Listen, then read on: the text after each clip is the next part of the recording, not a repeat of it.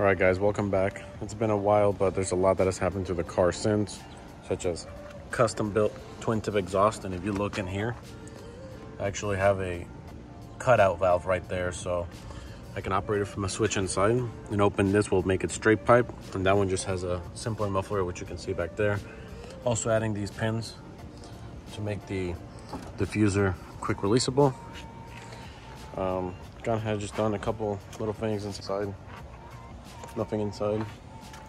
Now, this is the big change from what you guys are used to seeing. But gone ahead, of the supercharger. Don't worry, some of this hosting is temporary.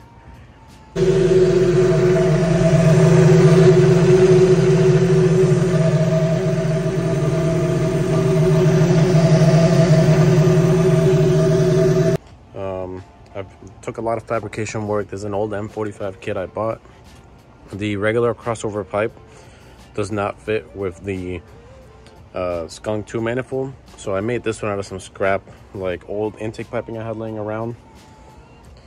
Same as this piece. I think this one here, it has a weld right here that I made, a weld here, and two welds here, pipe cut, and a weld here.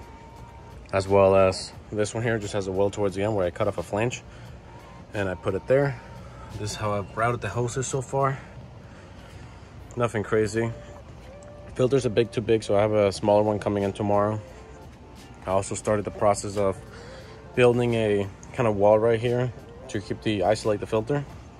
And I'm using like these uh, L brackets that I made just to hold the wall here. But the filter's gonna be smaller, so it should work. Um, here's a, a check valve for the IACV. And you can see here, I have the actual throttle body back there.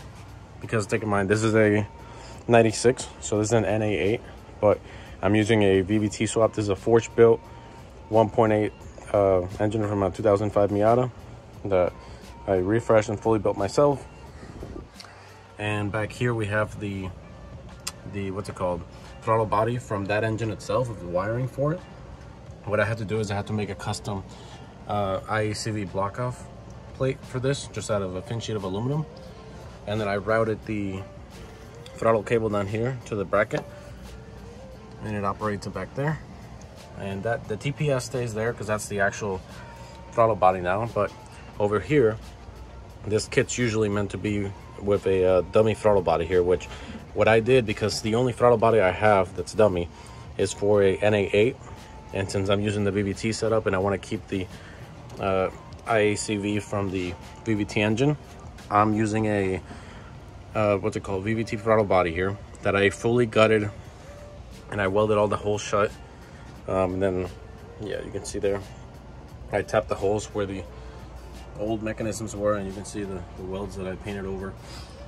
But, and then I then went and you can see down there, I 3D printed a plate, an extension plate to house the IACV on the bottom and it has piping here. And there's a fitting back there. It's hard to see. But this is what routes it all the way to the cross pipe down there or U pipe.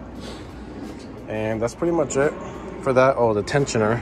So I had to get a creative with a belt because the belt that came with my kit was 104 PK 1345 and that didn't really work because um it's meant for the original setup with the NA8 stuff um, and a power steering. And I don't really have the power steering anymore since I have the electric power steering that I also installed, which I have to make a video about. But what I ended up doing is I made a, I used the stock plate here and you can see there I made a custom tensioner system. So I welded together the little bracket there are some scraps I had laying around and this block similar to the OEM one. And what it does is it allows me to tighten that to bring it closer together and tension the belt. And it's very nicely tensioned and it allows me to have working AC and you can see just how tight it holds this wheel to prevent slippage. But yeah guys, just a quick little update. It's been a while. Um, I have more videos I have to make, so just go ahead and if you have any specific questions, I can go ahead and make it. And yeah, I added a catch can for the setup. I've heard of blowing the seals and stuff, so I figured fuck it, I'll put that there and so far so good